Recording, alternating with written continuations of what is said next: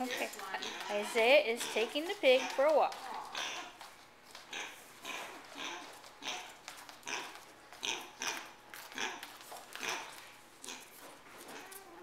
I don't think Wilbur likes it. Oh! Oh! Burr, what happened?